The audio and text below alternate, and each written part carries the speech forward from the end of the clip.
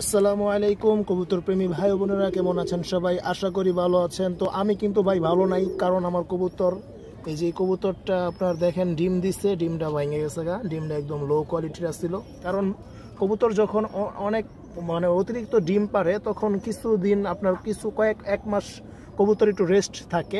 তো সে সময় যদি আপনি কবুতরের ডিম নেন, নিতে থাকেন, তাহলে কবুতরের যে ভিটামিনটা এটা একদমই মানে লো হয়ে যায়। তো আজকে এই বিষয় নিয়ে আজকে আলোচনা করব। আলোচনা শুরু করার আগে অবশ্যই এটা রিকোয়েস্ট যারা আমার চ্যানেল নতুন এখন পর্যন্ত সাবস্ক্রাইব করেননি প্লিজ সাবস্ক্রাইব বাটনে ক্লিক করে সাবস্ক্রাইব করে দিবেন। আর যারা সাবস্ক্রাইব করেছেন, তাদেরকে অসংখ্য অসংখ্য ধন্যবাদ। তো চলুন আমরা মূল ভিডিওতে শুরু করি। তো দেখুন, এখানে আমার যেই গররা কবুতর, এই গররা কবুতরের যে ডিমটা, দেখুন আমার এই গররা কবুতর, এই কবুতরগুলা অনেক বাচ্চা দিচ্ছে আল্লাহর রহমতে। এখন আমি কবুতরগুলার এখনও পর্যন্ত মানে রেস্টে দেই নাই, কারণ আমি সময় দিতে পারতাছি না কবুতরের উপরে। তো ঠিক আছে, তারপরেও সমস্যা নাই, কবুতর নিচ থেকে রেস্ট নিয়ে নেয়, কারণ অনেক সময় দেখবেন অনেক কবুতর ডিম পারে না, মাঝখানে হঠাৎ করে ডিম পারা অফ করে দেয়। তো তাদের জন্য মানে তারা যদি তারা কোনো সময় হতাশ হবেন না, কারণ কবুতর আবার ডিম দিব আপনার ভিটামিনের জন্য, কবুতর কিছুদিন ওয়েট করে। তো ঠিক আছে, তো দেখুন এই কবুতরগুলা কালকে আমি দেখছি ডিম পারছে একটা, তো আমি ডিম পারার পর আমি দেখার পর আমার যাক ভালো লাগছে। তো ভালো লাগার পরে যে আজকে আমি আবার দেখলাম ডিম থেকে উঠে গেছে মানে ওম দেয় না। তো ওম দেয় না, এই যে কারণটা হচ্ছে এই যে কবুতরের ডিমটা ভেঙে গেছে। পরে আমি খেয়াল করে দেখি যে কবুতরের ডিমটা ভেঙে গেছে।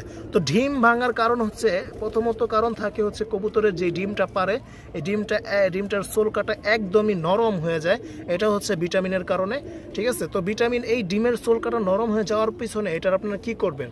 কবুতর, আপনারা যারা খাঁচায় আটকায় পালেন, তা ওই কবুতরগুলা কিন্তু মানে বাহিরে যেই খাঁচার বাহিরে যেগুলো থাকে, ওগুলার তুলনায় কিন্তু আপনার এই কবুতরগুলা মানে একটু লো কোয়ালিটি মানে ভিটামিন একটু কম থাকে শরীরে। কারণ দেখা গেছে যে একটা কবুতর যখন রোদের আলো ঠিকমতো পাবে, বৃষ্টি, তখন এই, এইগুলা মানে ক- পাইলে তখন ওই কবুতরটা আপনার একটু হেলদি এবং স্বাস্থ্য থাকে। তো দেখেন, আমার এই কবুতর আমি চাইলে এগুলা ছেঁড়া পালতে পারি, কিন্তু আমি ছেঁড়া পালি না। কারণ হচ্ছে যে আমার কবুতর যে সম- যে সময় সন্ধ্যা হয়ে যায়, তখন আমার কবুতরের খোয়ার দিতে দিতে আজান হয়ে যায়। আমি নামাজ ঠিক মতো পড়তে পারি না।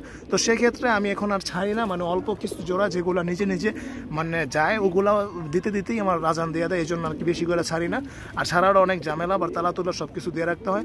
তো দেখুন, আপনারা মানে যে বিষয়টা আজকে আলোচনা করতে আসছি সেটা হচ্ছে যে ডিমের খোঁচাটা মানে যখন ডিমটা ভাঙা যায় এটা কারণ হচ্ছে আপনার ডিমের যে ভিটামিনের যে সোলকাটা এই সোলকাটা আপনার একদমই নরম থাকে মানে নর্মাল হয়ে যায়। তো সেক্ষেত্রে আপনারা কি করবেন? আপনারা মুরগির ডিমের ছোলকা মানে মুরগির ডিমের খোসা, এটা আপনারা কুচি কুচি করে, ছোট ছোট করে ভেঙে তারপর আপনার খাবারের সাথে দিবেন। তাহলে অবশ্যই কবুতরটা মানে তখন আর কবুতরের ডিমটা মানে ওটা শক্ত হয়ে যাবে, ডিমের খোসাটা, তখন আর কি আর ডিম ভাঙবে না।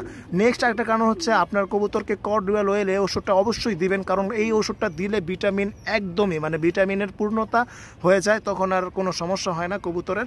আপনার এই ওষুধটা দিবেন মাসবি এই ওষুধটা দিতেই হবে। প্রত্যেক মাসে একবার করে হলেও একটা নরকে একটা মাদিকে দিবেন, ঠিক আছে? তো বিওয়ার দেখা হবে নেক্সট কোনো ভিডিওতে। সে পর্যন্ত সবাই ভালো থাকুন, সুস্থ থাকুন। আসসালামু আলাইকুম রহমতুল্লাহি বারাকাতুহু।